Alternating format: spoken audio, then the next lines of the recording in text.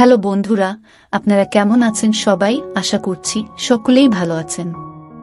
তো বন্ধুরা, আজকে তোমাদের জন্য নিয়ে এলাম দুর্দান্ত এবং মজাদার একটি ভিডিও। তো চলো ভিডিওটি শুরু করি। তো বন্ধুরা, প্রথমে আমার নাম দিয়ে শুরু করি। আমার নাম শান্ত, আমি পলিটেকনিকে পড়ি। এখন দুই দুইয়ের সেমিস্টার এ। আপনাদেরকে আজ আমি আমার প্রেমিকাকে নিয়ে কীভাবে খেলেছি সেই ভিডিওটি তুলে ধরলাম। ঘটনাটি বেশি দিনের না। ছুটির দিন আমরা ফ্রেন্ডসরা সবাই ঘুরতে বের হয়েছি। সবাই বাইক নিয়ে ঘুরতে বের হয়েছি। তখন বিকাল চারটা তিন শূন্য মিনিট হবে। অটোতে করে দুইটি মেয়ে যাচ্ছে, এরাও ঘুরতে বের হয়েছে। এরপর আমি আর আমার ফ্রেন্ড বাইক নিয়ে দাঁড়িয়ে গেলাম আর আমার ফ্রেন্ড রাহুলকে বললাম যে, দোস্ত, অটোতে দুইটা পড়ি একটা আমার আর একটা তোর। এরপর আমাদের সাথে সব ফ্রেন্ডসকে বললাম, দোস্ত, তোরা যা, আমরা কিছুক্ষণ পর আসছি। সবাই বুঝতে পারল, ওরা তাড়াতাড়ি টেনে চলে গেল। এরপর মেয়ে দুইটা অটো থেকে নেমে একটা ফাস্ট ফুডের দোকান এ বসল। আমি ও বাইকটা পিছনে রাখলাম, রাহুল বলল, বাদ দে, দোস্ত, মনে হয় ওদের বয়ফ্রেন্ড রোয়ের সাথে দেখা করতে আসছে। আমি বললাম, আসছে, তাতে সমস্যা কি? তারপর আমি বাইক রেখে ওদের সামনের চেয়ার এ বসলাম। রাহুল একটু বলদ টাইপের, তাই ভয় পাচ্ছিল। ওরা দুইটা পিৎজার অর্ডার দিল। তাই দেখে আমিও দুইটা পিৎজার অর্ডার দিলাম। আমি আমার সামনের মেয়েটিকে পছন্দ করলাম। মেয়েটির চোখ দুইটা খুব সুন্দর ছিল, শরীরের রং বুদেশিদের মতো ফরসা। আর ডাপের সাইজ কি বলব, এক কথায় অসাধারণ। আমি মেয়েটিকে বললাম এক্সকিউজ মি একটা কথা বলব, যদি কিছু মনে না করেন? মেয়েটি হেসে হেসে বলল, জি, বলেন। আমি বললাম, আপনি কি বার্গার খেতে পছন্দ করেন? মেয়েটি হাসছে, শুধু আর বলছে হ্যাঁ। আমি বললাম, আমার ও খুব ফেভারেটের পর বললাম, কিছু মনে করবেন না আর একটি কথা বলতে পারি। মেয়েটি বলল, জি, বলেন। আপনার হাসিটা খুব সুন্দর, এরপর আমরা দুইজন কথা বলতে লাগলাম, ওরা দুইজন বলদের মতো তাকিয়ে থাকতে লাগল। কিছুক্ষণ পর বললাম, কিছু মনে করবেন না, আর একটা কথা বলি। ও বলল, বলেন, আমি বললাম, বিলটা কি আমি দিতে পারি? এই শুনে মেয়েটি বলল, জিনা, থাক, এত আর করতে হবে না। তখন মনে মনে বলছিলাম, মনে হই বেশি ভাব নেওয়া হয়ে গেছে, যাই হোক, আমাদের বিল দিয়ে বাইরে গেলাম। এরপর ওরা দুইজন বের হলো রিক্সায় উঠে পড়ল। আমি বাইক নিয়ে পিছে পিছে যাচ্ছি, কিছুক্ষণ পর মেয়েটি পিছে ফিরে তাকিয়ে বলছে, কি ব্যাপার? আমি বললাম, আর একটা কথা বলব, কিছু যদি মনে না করেন? মেয়েটি সুন্দর হাসি দিয়ে বলল, জি, বলেন, কিছু মনে করব না।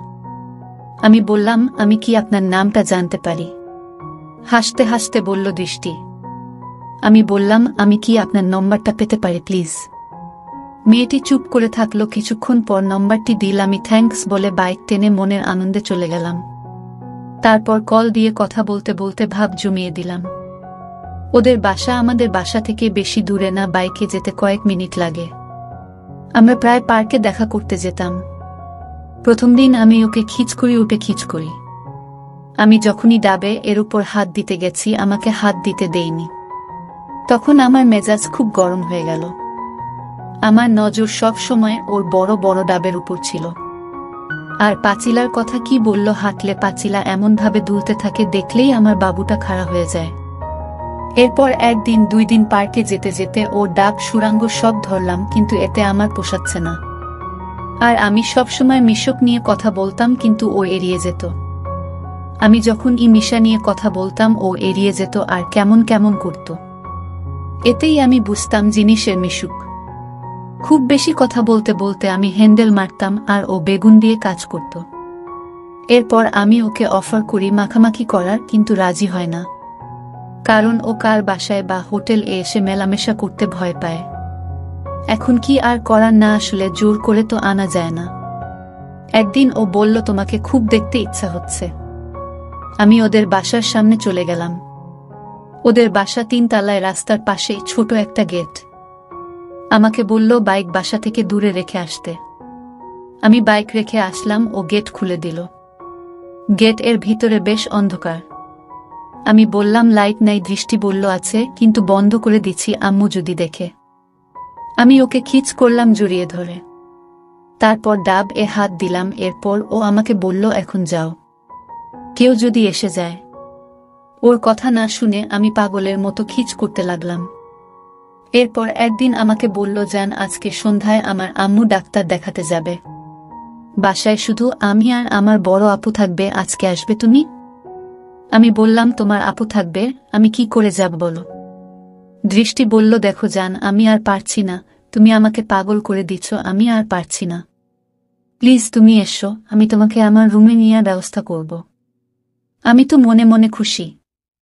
সন্ধ্যায় আয়ান দিল, ওর আম্মু আর ছোট ভাই ডাক্তারের কাছে গেল। আমি তখন ওদের বাসার নিচে গেলাম।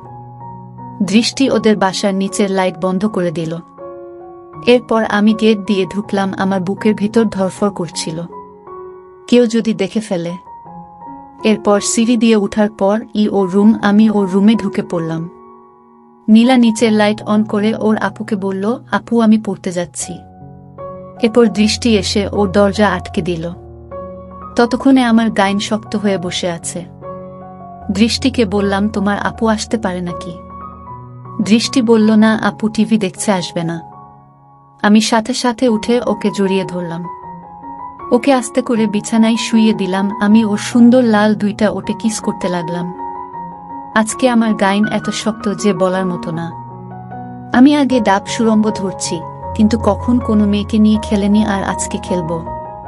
কিন্তু মনের ভিতর একটা ভয় আছে, কেউ যদি দেখে ফেলে, তাই আমাকে তাড়াতাড়ি খেলতে হবে। আমি দেরি না করে ওর জামা খুলে ফেললাম। আস্তে আস্তে ওর পেট এ হাত বুলাচ্ছি, আর দৃষ্টি শিউরে শিউরে উঠতেছে। আজকে দৃষ্টি কালো বেড়া পড়েছে। ওকে আজকে অনেক সুন্দর দেখাচ্ছে। আমি ওর বেড়ার হুক খুলে দিলাম। ওর সুন্দর দুইটা ডাব আমার চোখের সামনে বাদামি রঙের। এর বোটা আমি দুই হাত দিয়ে চাপতে লাগলাম। আর চুষতে লাগলাম। ততক্ষণে দৃষ্টি প্রায় পাগলের মতো হয়ে গেল, দৃষ্টি উফফ উফফ আস্তে আস্তে উফফ শব্দ করতে লাগল। আমার ওর শব্দ শুনে গায়নের মাথায় বিড় বিড় করতে লাগল। দৃষ্টি আমাকে জড়িয়ে ধরে আমাকে নিচে শুয়ে দিলের পর আমার সব জায়গায় খিচ করতে লাগল। মনে হয় ভিডিও দেখে শিখেছে। দৃষ্টিকে বললাম, দৃষ্টি আমার গাইনটা একটু চুষে দাও। সাথে সাথে দৃষ্টি আমার পেন খুলে আমার গাইনটা ধরে কসলাতে লাগল। আমার শরীর এ সুরসুরি দিতে লাগল। এরপর যখন আমার গাইনটাকে ওর গালের ভিতর ঢুকালো তখন আমার শরীরের মধ্যে কেমন জানি করে উঠল। এত মজার ফিলিংস, আহ উফ, কাউকে বলে বোঝানো যাবে না। প্রায় পাঁচ মিনিট আমার গাইন চুষে দিল। এরপর আমি ওকে শুইয়ে দিয়ে ওর পায়জামা টেনে খুললাম। লতাপাতায় ভরা সুরাঙ্গ দেখে আমার গাইন আরও বেশি লাফাতে লাগল। যখন দৃষ্টি ট্যাঙ্ক ফাঁক করলাম দেখি দৃষ্টির সুরঙ্গে রসে চুপ চুপ করছে। আমি আর সহ্য করতে পারলাম না, আমার গাইনটা নিলাম, সুরাঙ্গের ভিতর জোরে ঢুকিয়ে দিলাম। দৃষ্টি আহ আহ আহ করে উঠল। প্রথমে একটু কষ্ট হচ্ছিল, পরে আস্তে আস্তে ঠিক হয়ে গেল। আমার গাইন কেমন জানি আগুনের মধ্যে যেয়ে পড়েছে, জীবনের প্রথম খেলতেছি তাও আমার প্রেমিকাকে। এরপর আমি জোরে জোরে ঠাপ মারতে লাগলাম। দৃষ্টি আস্তে আস্তে শব্দ করছে আহ আহ আহ উফ উফ আহ আরও জোরে দাও না বাবু, আর একটু জোরে দৃষ্টি যখন আহ আহ উফ, করে উঠল, আমার গাইনের ভিতর থেকে রস বের হবে টের পেলাম। এরপর আমি গাইনটাকে বের করে দিলাম। দৃষ্টির পেট এর উপর পানি পড়ল। অনেকখানি রস বের হয়েছে আমার শরীর শীতল হয়ে পড়ল। দৃষ্টি আমার রস দেখতে লাগল ও আগে কখনো রস দেখিনি। এরপর দৃষ্টি আবার পাগলামি করতে লাগল, দৃষ্টি পেটের রস ওর ওড়না দিয়ে মুছে আমার গাইনটাকে মুছে দিল। এরপর আবার গাইনটাকে নিয়ে হাতের ভিতর কচলাতে লাগল। আমার গাইন আবার শক্ত হয়ে গেল। আমি এবার দৃষ্টিকে আমার কোলের উপর তুলে খেলা শুরু করলাম। আর শুরু করলাম রামঠাপ দৃষ্টি আমাকে জোরে জড়িয়ে ধরল দৃষ্টি। আহ, উফ, আহ আহ, ইয়াহ, উফ করতে লাগল। দৃষ্টি আমাকে শক্ত করে জড়িয়ে ধরল। আমি বুঝলাম ওর খুব কষ্ট হচ্ছে। এরপর আমি ওকে নিচে নামিয়ে দুই ট্যাঙ্ক ফাঁক করে ঠেলতে লাগলাম। জোরে জোরে ঠেলতে লাগলাম দৃষ্টি, উফ আহ, উফ করেই যাচ্ছে। আমি খেলতে লাগলাম আর ডাব চুষতে লাগলাম। দৃষ্টি মুখের দিকে তাকিয়ে দেখি দৃষ্টির চোখ দিয়ে পানি বেয়ে বেয়ে পড়ছে। আমি বললাম যান কষ্ট হচ্ছে। দৃষ্টি বলল, উফ না, আরও কর। আহ আহ উফ আহ, কিছুক্ষণ পর দৃষ্টি আমাকে শক্ত করে জড়িয়ে ধরল। বুঝলাম, ওর পানি বেরিয়ে গেছে, আর পারছে না। এরপর আমার ও আবার জল বেরিয়ে গেল, আবার ও ওর পেটের উপর জল ঢেলে দিলাম।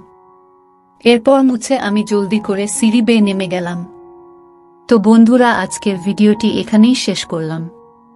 অনেক কষ্ট করে ভিডিওটি আপনাদের জন্য বানিয়েছি। যদি ভিডিওটি ভালো লেগে থাকে, তাহলে একটা লাইক করবেন এবং চ্যানেলটি সাবস্ক্রাইব করবেন। এই আশা ব্যক্ত রেখে আপনাদের কাছে বিদায় নিচ্ছি। দেখা হবে আগামীকালের নতুন কোনো ভিডিওতে। সে পর্যন্ত সবাই ভালো থাকুন, ধন্যবাদ।